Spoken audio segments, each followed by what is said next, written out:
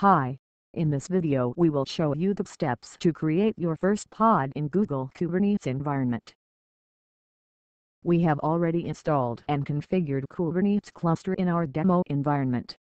For more information, please check our blog page in the video description box. We have added two nodes in this cluster.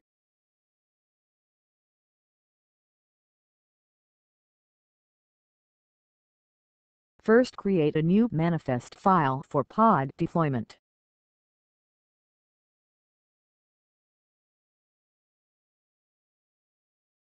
We need to specify the API version, which kind of deployment, metadata information and the container specification details.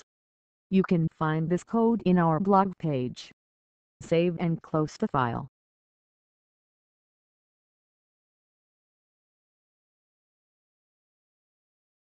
Deploy the pod using the manifest file.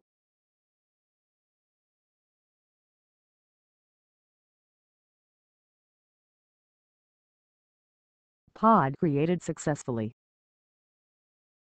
Verify the pod status.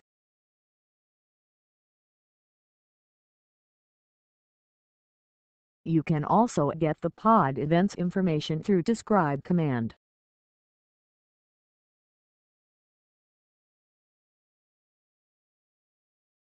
You can see the current pod activity events like pulling images, creating the container, etc.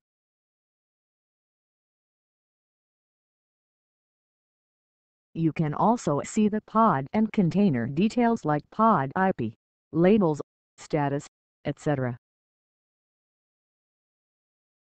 After few seconds, pod has changed to running status.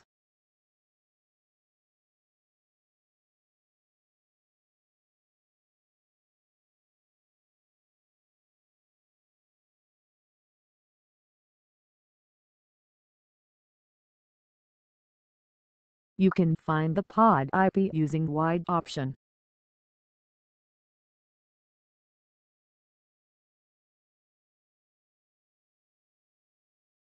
We can able to browse the container using the pod IP inside the cluster.